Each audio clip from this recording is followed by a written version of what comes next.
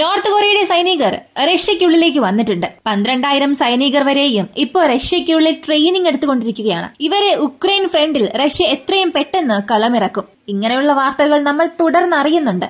എന്നാൽ പുതുതായി വന്ന ഒരു അപ്ഡേറ്റ് അനുസരിച്ച് പന്ത്രണ്ടായിരം സൈനികരെ നോർത്ത് കൊറിയയിൽ നിന്നും റഷ്യ കൊണ്ടുവന്നിട്ടുണ്ട്. അത് ശരി. എന്നാൽ ഇവർ ഏത് യൂണിറ്റിലുള്ളവരാണ് ഏത് സ്പെഷ്യൽ ഫോഴ്സസിൽ നിന്നുള്ളവരാണ് എന്ന ചോദ്യത്തിന് ഇപ്പൊ ഉത്തരം ലഭിച്ചിട്ടുണ്ട്. ഈ പന്ത്രണ്ടായിരം സൈനികരെ അകത്തേക്ക് അയച്ച് മൂന്ന് ഡസൺ എസ് യു തേർട്ടി വിമാനങ്ങൾ നോർത്ത് കൊറിയ റഷ്യയിൽ നിന്ന് വാങ്ങാൻ പോവുകയാണ്.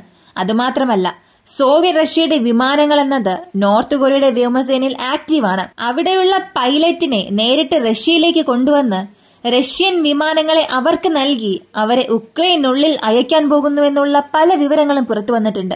ഇത് ഒരു സീരിയസ് ആയ എസ്കലേഷൻ ആണ്. നേരിട്ട് പന്ത്രണ്ടായിരം സൈനികർ അകത്തേക്ക് പോയി ഉക്രൈന് നേരെ പോരാടുക. അതും നോർത്ത് കൊറിയൻ സൈന്യം ഉക്രൈൻ നേരെ യുദ്ധം ചെയ്യുക എന്നുള്ളത് അത് നേരിട്ട് നാറ്റോയുമായി നോർത്ത് കൊറിയ ഒരു യുദ്ധം ചെയ്യുന്നതിന് സമാനമായി മാറും. ഇതിനെക്കുറിച്ച് ഈ ഒരു വീഡിയോയിലൂടെ നമുക്ക് വിശദമായി അറിയാം.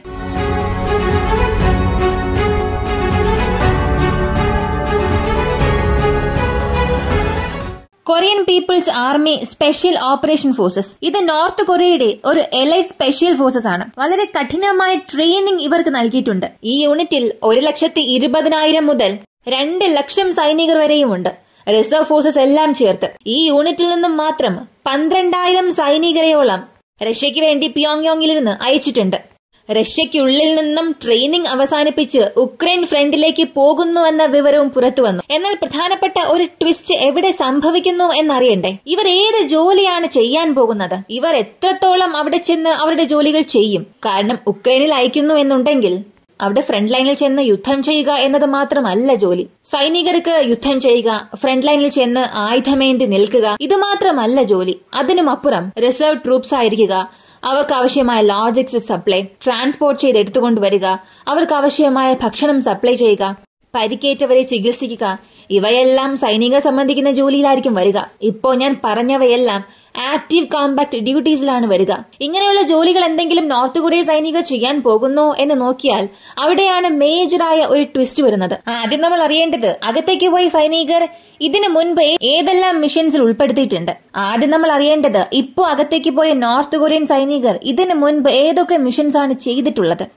അതായത് ഒരു യൂണിറ്റ് എടുക്കുകയാണെങ്കിൽ അവരെ ചില കാര്യങ്ങൾക്ക് വേണ്ടി മാത്രം പ്രത്യേകം ട്രെയിനിങ് ചെയ്യും. ആന്റി ടെററിസത്തിന് വേണ്ടി ചില യൂണിറ്റ്സിന് ട്രെയിനിങ് കൊടുക്കുന്നുണ്ട്. റെസ്ക്യൂ മിഷൻസിന് വേണ്ടി ചില യൂണിറ്റ്സ് ഉണ്ടാകും. ഇനി ഇവർക്ക് എന്ത് ട്രെയിനിംഗ് ആണ് നൽകിയത്? ഇവർ ഏത് മേഖലയിലാണ് മികച്ച പ്രകടനം കാഴ്ചവെച്ചത് എന്ന് നോക്കിയാൽ നോർത്ത് കൊറിയയുടെ വ്യോമസേനയാണ്. ഈ വ്യോമസേനയിൽ ഇപ്പോ ആക്റ്റീവായിട്ടുള്ളതിൽ വളരെ അഡ്വാൻസ്ഡ് ആയിട്ടുള്ള ഒരു ഫൈറ്റർ ജെറ്റ് സോവിയറ്റ് റഷ്യ കാലത്തിൽ നിർമ്മിച്ച മിഗ് ഇരുപത്തിയൊന്നാണ്. മിഗ് ഇരുപത്തിയൊന്ന് മിഗ് ഇരുപത്തിമൂന്ന് സുഖോയ് എസ് യു ഏഴ് എസ് യു ഇരുപത്തിയഞ്ച് കൂടാതെ റഷ്യ നിർമ്മിച്ച മിഗ് ഇരുപത്തിയൊൻപത്.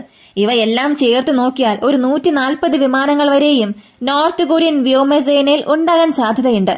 എന്നാൽ ഇവയെല്ലാം അത്രത്തോളം അതിനവീന വിമാനങ്ങളാണോ? അതായത് നോർത്ത് കൊറിയയുടെ നേരിട്ടുള്ള ശത്രുക്കൾ സൗത്ത് കൊറിയ ജപ്പാനാണ്.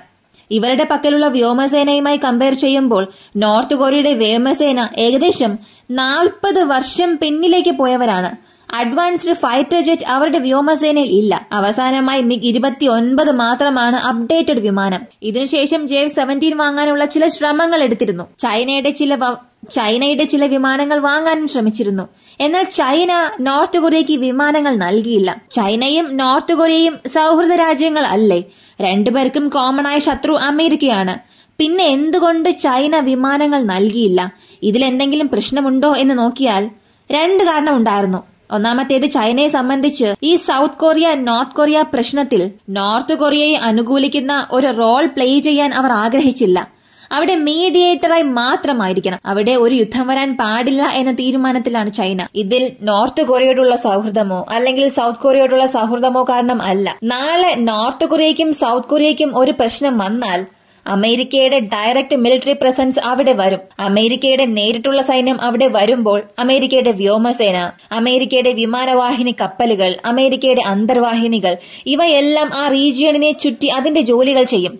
ഇത് നോർത്ത് കൊറിയയ്ക്ക് മാത്രം അല്ല പ്രശ്നം. ചൈനയ്ക്കും ഇത് നേരിട്ടുള്ള ഒരു ഭീഷണിയാണ്. അതുകൊണ്ട് അമേരിക്കയെ എതിർത്ത് അല്ലെങ്കിൽ അമേരിക്കയുടെ ദേഷ്യത്തിന് ആളാകുന്ന രീതിയിൽ ഇങ്ങനെയൊന്നും ചെയ്യണ്ട എന്ന് ചൈന കരുതി. അതുകൊണ്ടാണ് നോർത്ത് കൊറിയയ്ക്ക് വിമാനങ്ങൾ അവർ നൽകാത്തത്. ഇതിനുശേഷം നോർത്ത് കൊറിയയ്ക്കുള്ള ഒരേയൊരു വഴി റഷ്യ മാത്രമാണ്. കാരണം ഏത് രാജ്യം ഉപരോധം ഏർപ്പെടുത്തിയാലും ഏത് രാജ്യം അവരെ കോർണർ ചെയ്യണം എന്ന് ചിന്തിച്ചാലും അതൊന്നും റഷ്യയ്ക്ക് യാതൊരു ശ്രദ്ധയുമില്ല. അവരത് കാര്യമാക്കാറേയില്ല. ഇപ്പോഴത്തേക്ക് റഷ്യയ്ക്ക് ആളുകൾ ആവശ്യമാണ്. അവർക്ക് ആയുധങ്ങൾ ആവശ്യമാണ്. വളരെ എളുപ്പത്തിൽ ലഭിക്കുന്ന സ്ഫോടക വസ്തുക്കൾ ആവശ്യമാണ്.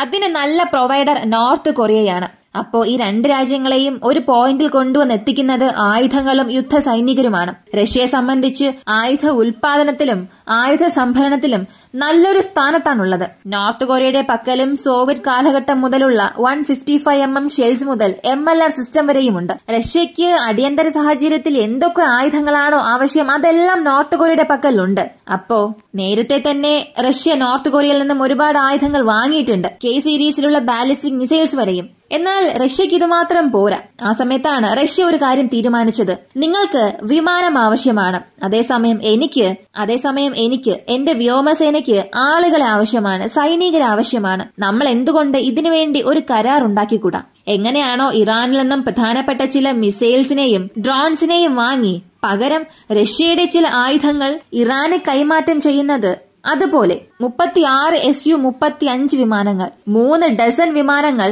വരാൻ പോകുന്ന വർഷങ്ങളിൽ റഷ്യ നോർത്ത് കൊറിയയ്ക്ക് നൽകുന്നതായി ഒരു റിപ്പോർട്ട് പുറത്തുവന്നു. അതിന് പകരമാണ് ഈ പന്ത്രണ്ടായിരം സൈനികർ നോർത്ത് കൊറിയയിൽ നിന്നും റഷ്യയിലേക്ക് പോയത്. ഇത് കേൾക്കാൻ ഒരു സാധാരണ കാര്യം പോലെ തോന്നാം. എന്നാൽ സത്യത്തിൽ ഇതൊരു സീരിയസ് എസ്കലേഷൻ ആണ്. മുപ്പത്തി ആറ് വിമാനങ്ങളും പന്ത്രണ്ടായിരം സൈനികരുടെ ജീവനും ഒരു ഭാഗത്ത്. ഈ പന്ത്രണ്ടായിരം സൈനികരുടെ ജീവന് പകരമാണോ ഈ മുപ്പത്തിയാറ് വിമാനങ്ങൾ എന്ന് ചോദിച്ചാൽ തീർച്ചയായും ഇല്ല. ഒരേ ഒരു സൈനികന്റെ ജീവന് പോലും ഒരിക്കലും ഈ മുപ്പത്തിയാറ് വിമാനങ്ങൾ പകരമാകില്ല. എന്നാൽ മറ്റ് മാർഗം ഇല്ലാതെ അവരുടെ രാജ്യത്തിന്റെ വ്യോമസേനയെ അതിനവീനമാക്കാനായി നോർത്ത് കൊറിയ ഇങ്ങനൊരു ശ്രമം നടത്തി. ഇത് അവർക്ക് ബാക്ക് ഫയർ ആകാതിരുന്നാൽ നല്ല കാര്യം. നോർത്ത് കൊറിയയെ സംബന്ധിച്ച് വളരെ ക്ലോസ്ഡ് കൺട്രിയാണ് അകത്തെന്താണ് സംഭവിച്ചത്? അകത്തെന്താണ് സംഭവിക്കാൻ പോകുന്നത്? ഇതൊക്കെ ചാരന്മാരിലൂടെ മാത്രമേ പുറത്തറിയുകയുള്ളൂ.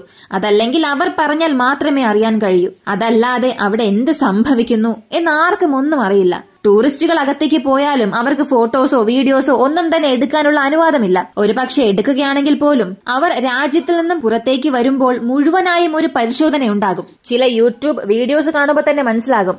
നോർത്ത് കൊറിയയിൽ ഏതെങ്കിലും ടൂറിസ്റ്റ് പോവുകയാണെങ്കിൽ തിരികെ പുറത്തേക്ക് വരുന്ന സമയത്ത് എത്രത്തോളം പരിശോധനയ്ക്ക് അവർ വിധേയരാകുന്നു എന്നുള്ളത്.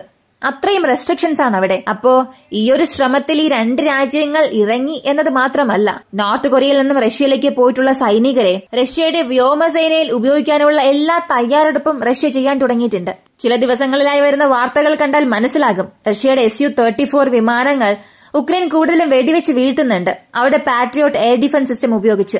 അപ്പോ ഈ സമയത്ത് റഷ്യയ്ക്ക് ഇത് വലിയൊരു ഗെയിം ചേഞ്ചിങ് മൊമെന്റ് ആയിരിക്കും. അകത്തേക്ക് അയക്കുന്ന വ്യോമസേന വിമാനങ്ങളിൽ നോർത്ത് കൊറിയ സൈനികർ ഉണ്ടെങ്കിൽ അത് ഒരു വിധത്തിൽ റഷ്യയ്ക്കുള്ള ഒരു നേട്ടമായി മാറും. എന്നാൽ അതേസമയം പ്രാക്ടിക്കലായി പെട്ടെന്ന് അവരുടെ പക്കൽ ഒരു വിമാനം നൽകി അതിൽ നോർത്ത് കൊറിയയുടെ സൈനികരെ അകത്തേക്ക് അയച്ച് ഉക്രൈനെതിരെ ഫൈറ്റ് ചെയ്യാൻ ശ്രമിക്കുമ്പോൾ എഫ് സിക്സ്റ്റീനെ പ്രയോഗിക്കുന്നതിൽ എങ്ങനെയാണോ ഉക്രൈന് ചില പ്രശ്നങ്ങൾ വന്നത് അതുപോലെ ഇവിടെയും ടെക്നിക്കൽ ചില പ്രശ്നങ്ങൾ വരാനുള്ള സാധ്യത കൂടുതലാണ്. അപ്പോ ഈ രണ്ട് ഭാഗവും ഇങ്ങനെ ഒരു തീരുമാനം എടുത്തിരിക്കുന്നത് യുദ്ധത്തിന്റെ വളരെ പ്രധാനപ്പെട്ട ഒരു ട്രിഗർ പോയിന്റായി മാറിയിട്ടുണ്ട്. നേരിട്ട് നോർത്ത് കൊറിയയുടെ സൈനികർ ഉക്രൈനുള്ളിലേക്ക് വരുമ്പോൾ അത് നാറ്റോ നോർത്ത് കൊറിയ എന്ന സംഘർഷത്തിലേക്ക് വരാനുള്ള സാധ്യതയുണ്ട്. എല്ലാവർക്കും അറിയാം ഉക്രൈൻ എന്നത് നാറ്റോയുടെ ഒരു പ്രോക്സിയാണ്. നേരത്തെ തന്നെ ബ്രിട്ടന്റെ സൈനിക ഉപദേഷ്ടാക്കൾ മിസൈൽ ഓപ്പറേറ്റേഴ്സ് മിസൈൽസിനെ ഓപ്പറേറ്റ് ചെയ്യുന്ന സൈനികർ ഇവരെല്ലാം ഉക്രൈനുള്ളിലുണ്ട്. അതുപോലെയാണ് ഇപ്പോൾ റഷ്യക്കുള്ളിൽ നോർത്ത് കൊറിയ സൈനികർ പോയിട്ടുള്ളത്.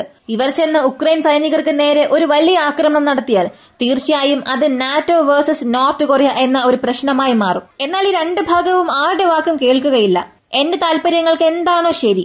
അല്ലെങ്കിൽ എന്റെ തീരുമാനങ്ങൾ എങ്ങനെയാണോ നടത്തേണ്ടത് അത് മാത്രമേ നടത്തുകയുള്ളൂ. നിങ്ങൾ ഇത്രയും രാജ്യങ്ങളെ ചേർത്ത് പിടിച്ച് എനിക്കെതിരെ പ്രവർത്തിക്കുന്നു. അതിനാൽ ഞാൻ എന്റെ കൂടെ നിൽക്കുന്ന രാജ്യത്തെ ചേർത്ത് പിടിച്ച് ആ രാജ്യത്തിലെ ആയുധങ്ങൾ ഉപയോഗിച്ച് സൈനികരെ ഉപയോഗിക്കുന്നതിൽ യാതൊരു തെറ്റുമില്ല. ആ ഒരു സ്ട്രാറ്റജിയാണ് ഇപ്പോൾ റഷ്യ ഫോളോ ചെയ്യാൻ തുടങ്ങിയിരിക്കുന്നത്. നോർത്ത് കൊറിയയുടെ സൈനികർ പ്രത്യേകിച്ച് ഈ സ്പെഷ്യൽ ഫോഴ്സസ് എപ്പോഴാണ് ഉക്രൈൻ ബാറ്റിൽ ഉക്രൈൻ ഫ്രണ്ടിലേക്ക് പോകുന്നത്? അപ്പോൾ ഉക്രൈൻ സൈനികർക്ക് പല പ്രശ്നങ്ങൾ കാത്തിരിക്കുകയാണ്.